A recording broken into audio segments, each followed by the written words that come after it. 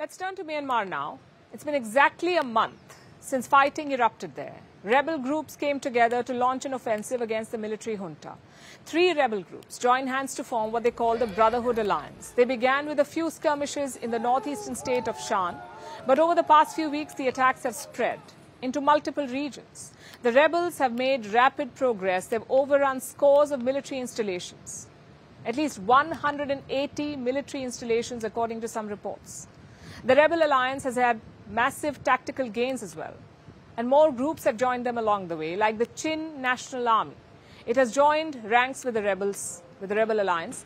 The military is now clearly on the back foot. Myanmar is facing a crisis, and this crisis has reached the borders of India and China.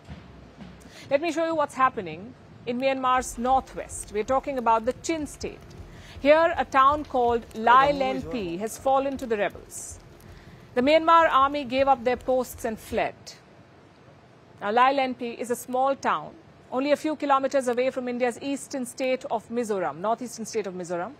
This is the second town near the Mizoram border to be captured by anti-junta rebels. The first one was taken almost two weeks ago. That's the border town of Rikhodar. It was also taken by the Chin National Army. Now, the fighting in the Chin state has caused a refugee crisis. India is taking in civilians fleeing the violence in Myanmar. When I was there, uh, they had so many problems, and uh, the the army, the military, we came to our village and just like go to one by one houses and and knocking the doors and ask ask them to come out everybody. So uh, some people are very scared and hiding inside the houses, even though they they they are breaking their door and let them to come out. In that time, it's very worse. So New Delhi is taking a cautious and humanitarian approach, giving shelter to thousands of civilians. It's a neighborly act amid testing times. But India is also sending back the soldiers who cross the border. Reports say there are many such soldiers who have just fled when faced with the rebels. And this is not limited to the West. The Myanmar army is losing ground in the northeastern Shan state as well. The Brotherhood Alliance has made significant advances there. The Myanmar-China border gate in the town of Muse is now in the hands of rebels. Now, this is a major trading point between Myanmar and China. It is vital for the trade of goods and consumer items.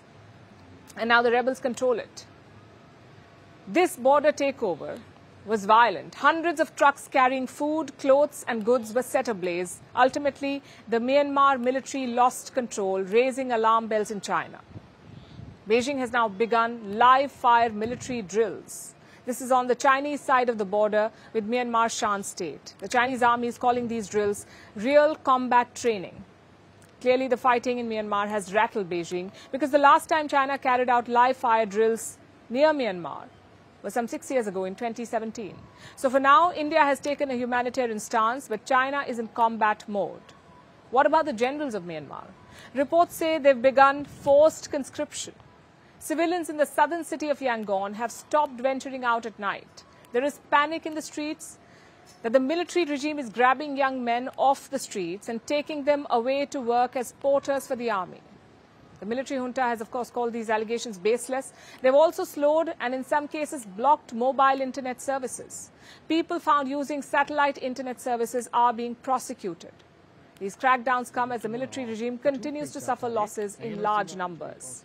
But in this one month of fighting, it's the civilians who've suffered the most.